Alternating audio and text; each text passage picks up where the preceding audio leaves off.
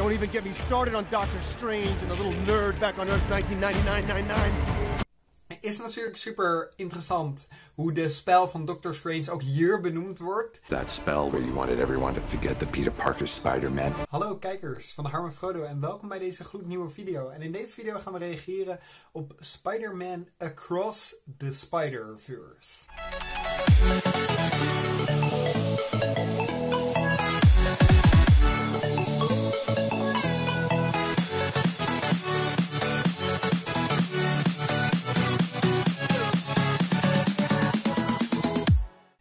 2018 konden we allemaal genieten van de film Spider-Man Into the Spider-Verse.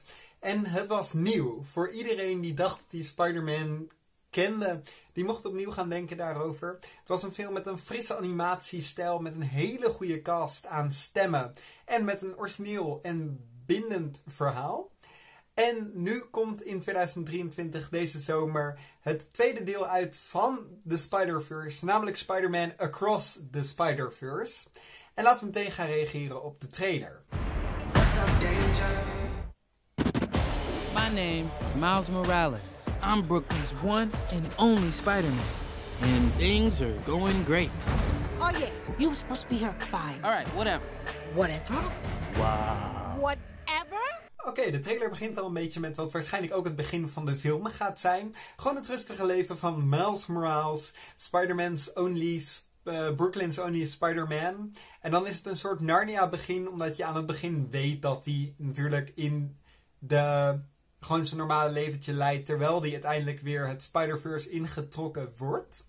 So are you like a cow or a Dalmatian? I am the spot. It's not funny. Don't don't do that. Um, we zien natuurlijk nog wel die korte scène met de spot. Maar dat is vaak gewoon zo'n begin actiescène die je even laat zien van... Dit is Miles Morales en hij is Spider-Man. Tot natuurlijk het moment dat hij weer in de Spider-Verse getrokken wordt. Miles' grades are pretty good. A in AP Physics. That's my little man. And a B in Spanish. Ooh, okay. Miles. Are you trying Mira, eso es imposible. I gotta go. He's lying to you. And I think you know it. Dan krijg je natuurlijk nog de zin van he's lying and I think you know it. De vraag is natuurlijk of zijn ouders nu weten van de spider-identiteit of niet in dit verhaal. Mocht dat niet zo zijn, dan krijg je weer dat hele verhaal van hoe, hoe verberg ik mijn identiteit. Mochten ze het ondertussen al wel weten, dan zou het natuurlijk altijd nog over andere dingen kunnen gaan. Maar natuurlijk blijft dat altijd in Spider-Man iets spannends. Wie weet die identiteit en wie niet. What's up, danger? Miles! Want to get out of here? Oh? So wait a minute. There's an elite crew with all the best spider people in it? En dan komt Gwen hem natuurlijk halen voor in het grote Spider-team. Tenminste, daar mag hij volgens mij later geen part van zijn. Maar hij, hij, hij wordt gehaald. En dan ziet hij alle andere Spider-Mans. En dat laat echt weer het Spider-Verse zien. Men verwacht ook ehm, stemacteuren zoals Tom Holland en Tobey Maguire en Andrew Garfield hierin terug. En daar ben ik ook zeker super benieuwd naar. Who's the new guy? This is unbelievable. This is the lobby. Miguel O'Hara. The whole thing was his idea. What's a guy gotta do to join this spider team? You can never be part of this. Don't even get me started on Doctor Strange and the little nerd back on Earth 1999 is natuurlijk super interessant hoe de spel van Doctor Strange ook hier benoemd wordt. Natuurlijk een spel die als allereerste multiverse opent. En zorgt dat er een Spider-Verse überhaupt kan gebeuren met allemaal iedereen in dezelfde film. Uh, maar het is altijd fascinerend dat zo alles weer connected is. Sony is gewoon bijna Marvel. En dat zie je vooral met het karakter Spider-Man natuurlijk heel erg terug. Come on, go easy on the kid. He had a terrible teacher. Peter, Miles! Mayday. you have a baby? I have a baby. I'll take it from here. Miles, being Spider-Man is a sacrifice. What's up, danger? You have a choice between saving one person Dan zie je natuurlijk in de trailer al heel snel die vader daarvan afvallen. Van iets waar die aan hing. Je hoopt natuurlijk niet dat dat weer een soort familiedood wordt die het plot drijft. Zoals je in eigenlijk alle eerdere Spider-Man films hebt. En laatst je natuurlijk ook had in Spider-Man No Way Home. Met de dood van Aunt May. Um, we gaan het zien. and saving every world.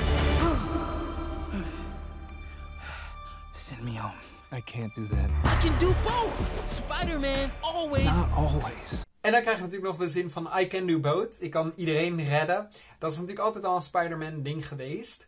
Vaak dat hij aan het begin denkt dat hij iedereen kan redden. En er later achter komt van I can save everyone. I can't save everyone. Dat gaan we natuurlijk ook weer terugzien in deze film.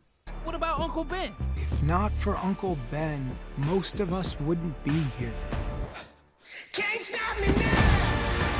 Can't run forever, kid. I can't lose one more friend. Miguel, this isn't what we talked about. You knew? have no idea what you're doing. Everyone keeps telling me how my story is supposed to go. Nah, I'm gonna do my own thing. All stations, stop Spider-Man. Oké, en de meme is ook al wel een beetje eruit. Die kwam ook weer terug in de trailer. Maar ja, dat moet eigenlijk altijd in die Spider-Verse dingen. Maar nog steeds wel grappig. En het wordt een soort Spider-Man tegen Spider-Man ehm, format. Wat ik op zich wel cool vind, omdat mensen hadden dat ook heel erg verwacht dat het terug zou komen in No Way Home. Het kwam toen niet terug, omdat ze eigenlijk vanaf moment 1 gingen samenwerken. En Spider-Man tegen Spider-Man is natuurlijk wel een heel goed idee voor zo'n animatiefilm als deze.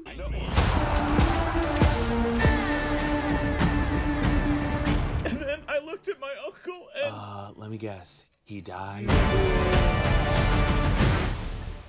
Oké, en dan van het laatste ben ik minder fan, want dan maken ze weer een soort grapje over al die eerdere films. Terwijl dat is een beetje iets van Marvel nu, die altijd grapjes maken over hoe het in eerdere films ging. En dat vind ik altijd een beetje flauw. Maar verder, de trailer ziet er heel leuk uit. Ehm, er komt nog een derde deel van de Spider-Verse, namelijk Spider-Man Beyond the Spider-Verse. En ik ben ook super benieuwd daarna. Die zullen we waarschijnlijk in 2025 kunnen verwachten. Ik ga denk ik wel voor deze film naar de bioscoop. Al is animatie niet helemaal mijn ding. Maar het blijft Marvel. Ze verwachten Miles Morales in Secret Wars. Dus dan moet ik wel kijken. En eh, ik hoop dat jullie heel erg hebben genoten van deze video. Mochten jullie zeggen, ik ga ook naar de bioscoop. Misschien wel met mij. Omdat ik deze video heb gezien. Laat dan zeker weten in de comments. Nodig mij uit. Lijkt me super leuk. En eh, laat zeker in de reacties weten waar ik de volgende keer op moet reageren. En dan zie ik jullie weer bij een nieuwe volgende video volgende week.